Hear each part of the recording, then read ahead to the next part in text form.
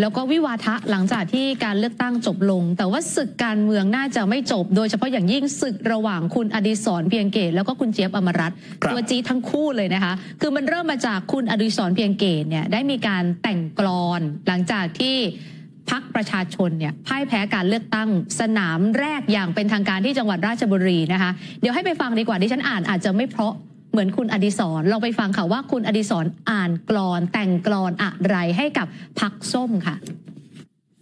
ผลการเลือกตั้งนายกองค์การบริหารส่วนจังหวัด จังหวัดราชบุรี ผลอย่างไม่เป็นทางการนะครับ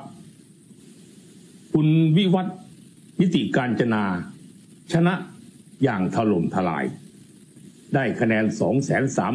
237,976 คะแนน ชนะคุณชัยรัตน์ศักดิ์อิสระพงศ์ซึ่งได้คะแนน170,047คะแนน ชนะกันเกือบแสนครับ ชนะกันเกือบแสนคะแนน ชนะ67,929คะแนน ขอแสดงความยินดีกับผู้ชนะนะครับ แต่ขอให้กำลังใจแก่ผู้ที่พ่ายแพ้ในครั้งนี้ ใช้ความพยายามอยู่ใกล้ชิดพี่น้องประชาชน จับไม้จับมือสามัคคีกันเพื่อพัฒนาจังหวัดราชบุรีต่อไป ลืมลืมนะครับ ลืมการต่อสู้ลืมอดีต ประชาชนได้ตัดสินใจเลือกตั้งยังไงก็เป็นไปตามนั้นครับ ขอฝากกรอนไปหาทุกๆทท่านนะครับ ส้มจืดจาง ส้มจืดจางหายมะลายสี ที่เมืองราชบุรี สีสยาม ไม่เหลือแล้วศรัทธาสง่างาม จะเหลือนามให้เรียกขานหรือไม่เอ่ยขอแสดงความยินดีนะครับ ก็เป็นการแสดงความยินดีให้กับกำนันตุ้ยครับในสไตล์ของคุณอดิศรเพียงเกตนะคะ ส้มจืดจางหายมาลายสีที่เมืองราชบุรีสีสยาม ไม่เหลือแล้วศรัทธาสง่างาม จะเหลือนามให้เรียกขานหรือไม่เอ่ย ปรากฏว่าคุณเจี๊ยบอมรัตน์ค่ะ อันนี้ก็เป็นตัวตึงอดีตพักก้าวไกลนะคะ ได้โพสต์ข้อความผ่านทาง X ค่ะ นี่คือตัวอย่างนักการเมืองที่ไร้สปิริต เอาวรรณกรรมมารับใช้ความจุดจุดจุดท่านผู้ชมอ่านเอาเองนะคะที่ฉันไม่สะดวกที่จะอ่านออกอากาศ อันนี้คุณเจี๊ยบอมรัตน์นะครัคะบอีกคนหนึ่งฮะคุณสกลทีพัทยกุลอดีตสมาชิกพักพลังประชารัฐโพสต์ข้อความผ่านเฟซบุ๊กบอกว่าค่ะสนามท้องถิ่นกับสนามระดับประเทศบริบทต่างกันมากครับ เลือกตั้งทั่วไปได้เยอะไม่ได้แปลว่าท้องถิ่นจะประสบความสำเร็จ เห็นบางคนหาเสียงแล้วยังเพลียเลยครับ เพราะยังไม่รู้ว่าอำนาจหน้าที่ท้องถิ่นกับระดับชาติต่างกันยังไง หาเสียงมั่วซั่วไปหมด นะไม่รู้ว่ากรณีอันนี้หรือเปล่าที่เขาไปที่จอมบึงเมื่อวันเสาร์ที่ผ่านมาค่ะนะพักสีส้มๆแบบเนี้ยเขาไปที่จอมบึง แล้วมีขึ้นไปหาเสียงพูดถึงเรื่องของน้ำแร่อื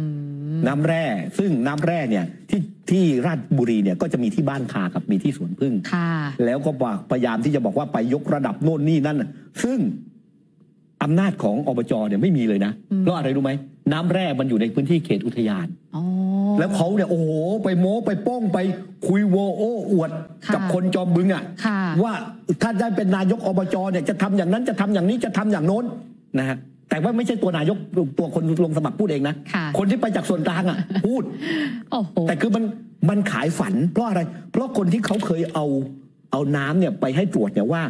น้ำตรงนั้นอะ มันมีคุณสมบัติเนี่ย ดีกว่าน้ำแร่จากฝรั่งเศสอีกนะอืมเอออันนี้ก็รู้มาฝั่งนี้ก็รู้ว่าเอ้ยมันดีกว่าฝรั่งเศสทำไมไม่ออกมาทำโน่นนี่นั่น แต่คุณผู้ชมครับ น้ำมันอยู่ในพื้นที่อุทยานแล้วทำอะไรได้ไหมอยู่นอกเหนือการดูแลของอบจถูใช่กไหมต้องนะฮะอ่าคุณสกลทีเลยบอกว่าคือบางทีเนี่ยมันมันไม่เหมือนกันนะได้เนี่ยแล้วารคุณสนุนเลืคนดีท้งบอกว่าเนี่ย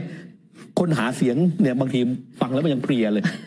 คือไม่รู้อำนาจหน้าที่อะค่ะนะฮะ อะสลับมาดูที่จังหวัดอุทัยธานีกันบ้างนะคะนักข่าวรายงานว่านะคะวันนี้เนี่ยบรรยากาศการรับสมัครเลือกตั้ง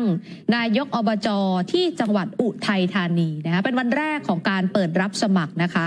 ก็มีประชาชนเนี่ยนะคะเดินทางมาค่ะ บรรยากาศตั้งแต่ช่วงเช้าประมาณสักตั้งแต่ก่อน 8 โมงอะนะคะ ผู้สมัครที่เดินทางมาคนแรกเลยก็คือ คุณพเดชนุ้ยปรี คนที่เป็นอดีตนายกอบจปะ อุทัยธานี 4 สมัยนะคะ เป็นแชมป์เก่าเดินทางมาคนแรกเลยค่ะ ยื่นใบสมัครรับเลือกตั้ง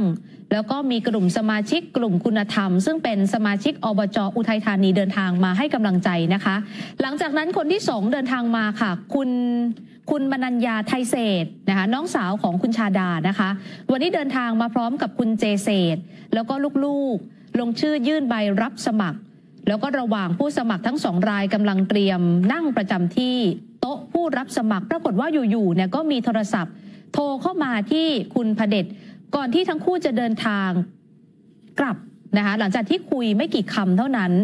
คุณมนัญญาเนี่ยเก็บเอกสารที่เตรียมมา เพื่อยื่นลงสมัครออกจากห้องแล้วเดินขึ้นรถตู้กลับออกไปเลยนะคะ ก็ไม่ได้ให้เหตุผล ส่วนท่าทางของคุณจเด็ดก็เดินทางกลับไปด้วยเช่นเดียวกันนะคะ ก็เลยทำให้บรรยากาศ การสมัครรับเลือกตั้งนายกอบจที่อุทัยเช้าวันนี้เนี่ยสรุป ยังไม่มีคนลงสมัครเลย คือตอนแรกไปแล้วสองอยู่ๆมีโทรศัพท์เข้ามาอะแล้วทั้งคู่ก็เดินทางกลับไป เพราะฉะนั้นถ้าหลังจากนี้เนี่ยมีใครมาสมัครก็จะได้เบอร์แรกตามลำดับการสมัครทันทีก็ไม่รู้เหมือนกันว่า ว่าเกิดอะไรขึ้น ก่อนหน้านี้คุณมนัญญานะคะ ได้ให้สัมภาษณ์กับผู้สื่อข่าวก่อนที่จะเดินทางมายื่นสมัครรับเลือกตั้งว่า การที่ตนเองมาลงสมัครรับเลือกตั้ง นายกอบจอุทัยธานีเนี่ยไม่ได้อยากที่จะทะเลาะกับใครนะนะคะ ยังพูดคุยทุกอย่างเรียบร้อย เน้นทำงานให้กับพี่น้องประชาชนอะเดี๋ยวเราไปฟังคุณมนัญญาไทยเศษค่ะแล้วนะทุกคนก็ทำเพื่อจังหวัดอุทัยธานีกันทุกคนอยู่แล้วนะคะ แนวทางในด้านความคิดน่ะก็จะมีการอาจจะแตกในด้านความคิดกันบ้างใช่ไหมคะคือต่างคนแนวทางก็อาจจะต่างคนต่างคิดในเมื่อแนวทางทั้งสองเนี่ยมันไม่สามารถจะประจบกันได้ มันก็ต้องเป็นอีกแนวทางหนึ่งก็คือว่าเราก็คงจะต้องต่างคนต่าง เข้าหาประชาชน แล้วก็เสนอแนวทางแต่แล้วแนวทางของแต่ละคน แต่ถามว่าเราทะเลาะกันไหมเราก็ไม่ได้ทะเลาะกันนะคะ เราก็ยังพูดคุยกันดีอยู่นะคะ อย่างวันนี้เราก็คุยกันอยู่แล้วอันนี้คือให้สัมภาษณ์ก่อนที่จะเข้าไปสมัคร แล้วหลังจากที่เข้าไปสมัครปุ๊บมีโทรศัพท์ลึกลับโทรเข้ามา ทั้งคุณบรรญญาและคุณพเดชเดินทางกลับ นักข่าวรายงานว่ากรรมการอึ้งครับทุกคนอึ้งกันไปหมดเลย ก็เท่ากับณตอนนี้เนี่ยยังไม่มีผู้สมัครรับเลือกตั้งนายกอบจปทุมธานีนะคะก็อะเดี๋ยวให้ไปเคลียร์กันให้เสร็จเรียบร้อยไม่ใช่ก่ปอนทุมธานีเอาไม่ใช่อุทัยอุทัยธานีแบบนะตฮะกใจเลยเอเอออนะฮะเอา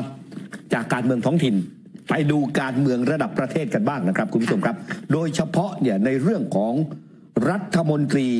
แพทองทานหนึ่งหรือว่ารัฐมนตรีอิงหนึ่งเนี่ยนะเป็นอย่างไร คือเมื่อวานนี้เนี่ยเขาบอกว่า มีการเช็คคุณสมบัติกันอยู่ค่ะล่าสุดครับวันนี้ครับคุณภูมิธรรมนั้นได้ออกมาเปิดเผยนะครับ ว่าตอนนี้เนี่ยนะฮะการตรวจคุณสมบัติตอนนี้เนี่ยส่งไปยังกฤษฎีกาเนี่ยเช็คคุณสมบัติแล้วนะค่ะลองไปฟังบางช่วงบางตอนที่คุณภูมิธรรมนั้นให้สัมภาษณ์เช้าวันนี้ครับเออก็ไม่น่ามีข้อกังวลนะครับ เพราะว่าทางสรคกับสำนักอายการเอ่อกฤษฎีกาเนี่ยได้นำเสนอชื่อ แล้วก็ได้มีเอ่อ คณะกรรมการกฤษฎีกาชุดใหญ่นะครับ ได้ตรวจสอบทั้งหมดเนี่ยผมคิดว่าในรายละเอียดทั้งหมดเท่าที่สองสามคณะนี้ได้ดำเนินการนี่ก็ถือว่าเป็นสิ่งที่น่าพอใจแล้วล่ะสำหรับการที่เราจะจัดตั้งรัฐบาลภายใต้กฎหมายที่เราควบคุมอยู่ ก็ดูผลอีกทีหนึ่งครับ ยังไม่เสด็จน้ำก็เดี๋ยวรอให้ชัดเจนแล้วก็จะทราบอีกทีก็เมื่อมีการโปรดเกล้าลงมานะครับ เรานี่ฮะ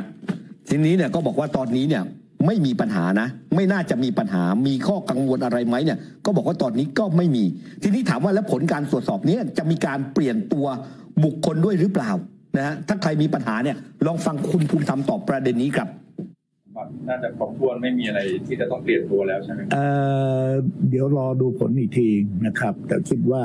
โดยรวมเท่าที่ทราบก็ส่วนใหญ่ก็น่าจะไม่มีปัญหาตามกรอบเวลาเดิมไม่คือ15 กันยายนจะพยายามครับนี่อืม นะฮะน่าจะไม่มีปัญหานะคะครัทุบกอย่างผ่านไปด้วยความเรียบร้อย มาร่วมสนับสนุนท็อปนิวส์นำเสนอความจริงได้แล้ววันนี้ เพียงกดปุ่ม Super Thanks แล้วเลือกจำนวนเงินตามที่ต้องการได้เลยครับ ขอบคุณครับ